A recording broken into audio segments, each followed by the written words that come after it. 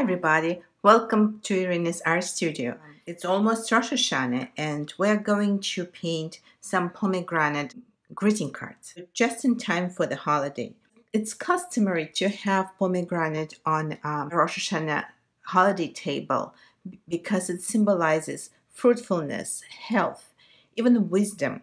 It's um, the legend says that Solomon's crown, that magic crown that if somebody would wear it, will become instantly a very wise person. That crown was fashioned after the crown um, of the pomegranate. We are going to have four different cards and start with this one. For this card, we are going to use a watercolor set. This is a very inexpensive student grade watercolor set by Yarka. I'm going to have a Sharpie, a pencil, any pencil will do, um, an eraser. We will need the scissors and the ruler. Maybe we will use some salt, just regular salt, um, but make sure that it was in the closed container, not in the open um, dish on the counter, because when the salt sits outside open, it's not going to work for you very well. We need some water and we need some paper. So I'm using this paper here. This is 9 by 12 inches, Canson XL watercolor. You can also use mixed media for this particular project. So I'm going to take one page out of the pad. I'm going to measure and and use my scissors and cut the, um, the page in half and I'm gonna score it right here. I place my ruler on the line and use the back side of the scissors blade and score it like this and so easy to fold it in half. Now I'm going to draw my character. I wanted to be a California character so we have a lot of sun and I wanted uh, the pomegranate to have sunglasses on. The basic shape of the pomegranate is round. It's a circle, so I'm going to draw my circle first and I want to kind of show myself. I'm going to start my circle here and maybe end it right here. Try not to press on the pencil too much because if you press on the pencil, you're going to groove the paper. It's going to be hard to erase the line if you don't like it. And the watercolor is going to collect in the grooves, which is not good either. So this is my basic shape. And now I'm going, let, let's look at the pomegranate. So it, it has the crown here.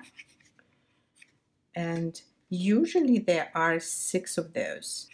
Maybe draw three here, three the ones that are visible, and the other two maybe they here, so we don't see the whole thing, just a little bit. And his eyes are going to be here.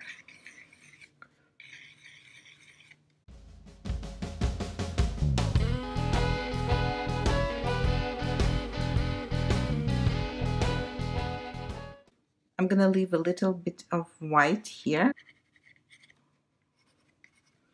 Okay, so suggest the nose and the smile.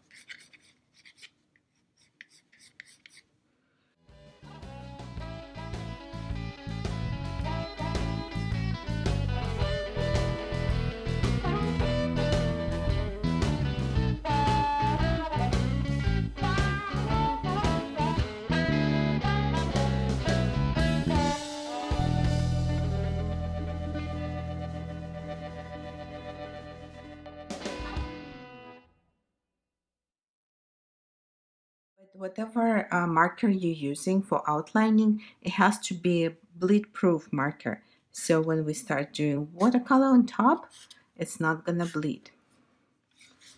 So I'm not gonna draw this line here because basically there's no line, right?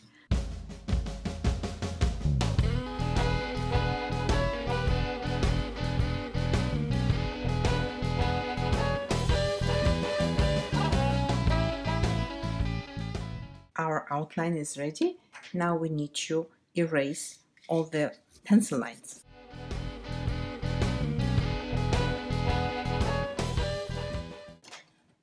Let's take a look if we missed anything. Um, I'm going to make little marks here for the frame of the glasses just to make it a little bit more interesting. Let's give him fashionable shades. I'm going to open my card so it will lay flat. So I will need my colors here. This is my inspiration. So I'm to place it here. I'm to probably use the salt and I need some water.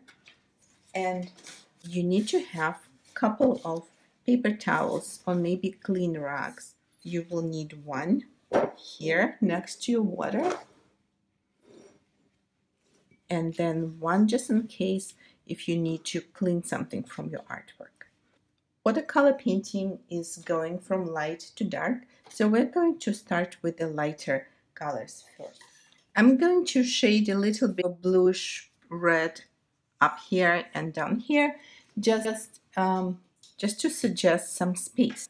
I like to work wet on wet. So I'm going to wet the area only where I want my color to go first. And taking some blue and very, very lightly. I don't really want it to be a dark color here. Very lightly suggest some um, suggest some sky. Try to avoid the feet and the legs just add some water and add some blue here.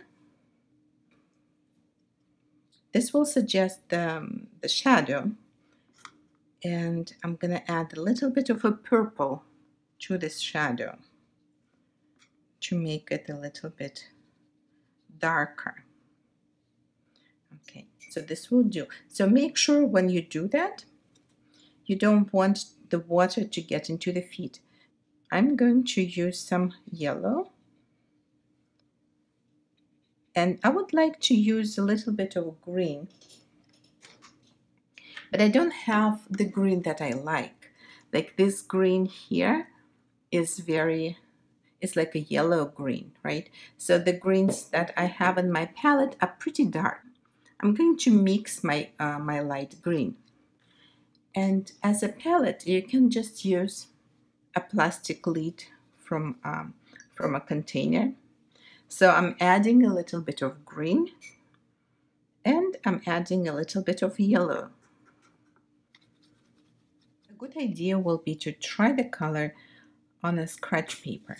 And it's a good idea to have a scratch paper the same quality as your card paper. The color will look a little bit different on different kinds of paper. So if we like the, um, the color, then we can go ahead and and add this color to the um, shade. So I have two reds here. A brighter red and I have um, a little cooler red. I like to, um, to paint wet on wet, so I'm going to wet the area. Um, I'm, I'm going to avoid the glasses as much as I can and avoid the, the mouth because I want the mouth to be the brightest color. But I'm going to wet the rest of the pomegranate. Just add some water there. You don't want, you want it to be shiny wet, but you don't really want it puddles.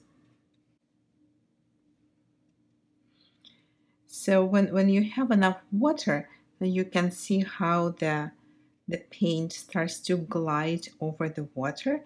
You don't really have to, um, to put too much effort to drag the paint over the, the paper because it's gliding on the water here.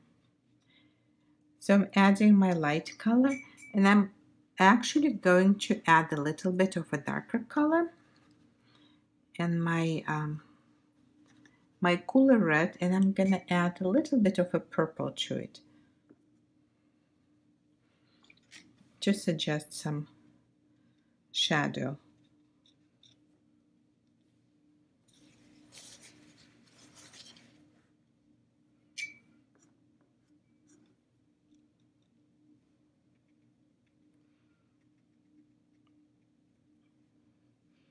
So I'm adding shadow on the sides, under the mouth, and a little bit under the nose. The rest can be lighter and again I'm trying not to get my reds into glasses area. I want to have a little bit of color variation going so I'm taking my green again and I'm charging the, the wet mixture with a little bit of green. And don't overdo it because you don't want it to become muddy. But just a couple of dots of green will create and maybe even even yellow they will create a little variation so that will be cool. And also the mouth. The mouth I would like to be brighter. So I'm using my bright red. I can even add a little bit of a yellow to it so it will be almost orange. And I don't want it to touch the rest of the reds because I don't want the colors to bleed and mix together. So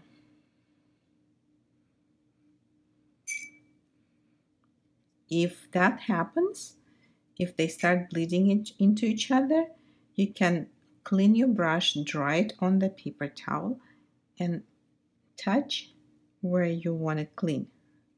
Just like that. Like I want a little bit lighter area on the nose and I'm cleaning my brush, drying it on the paper towel, and then just wiping it just like that.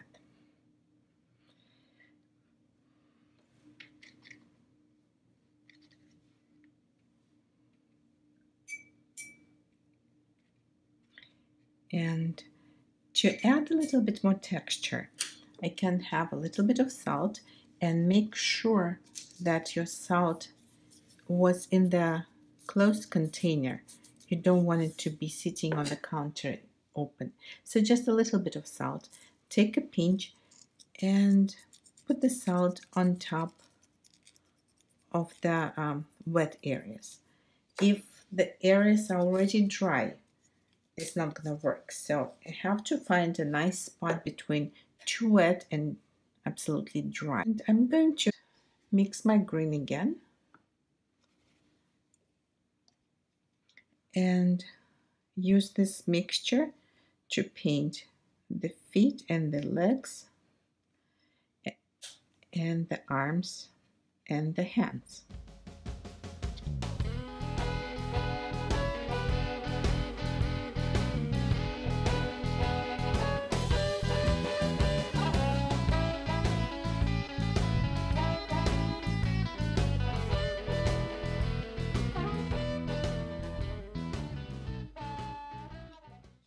So now, um, now our picture is dry and it has some texture that uh, salt created.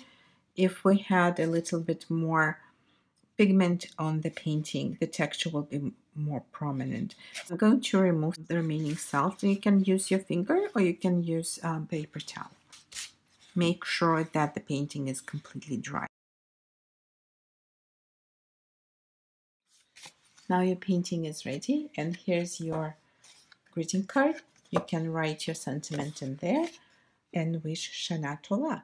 If this was just an outlined fun character, I'm going to have um, something like this, which is a print technique. So we're going to do some printing and we're going to do some resist technique with some embellishment and also watercolor here and watercolor or acrylics here.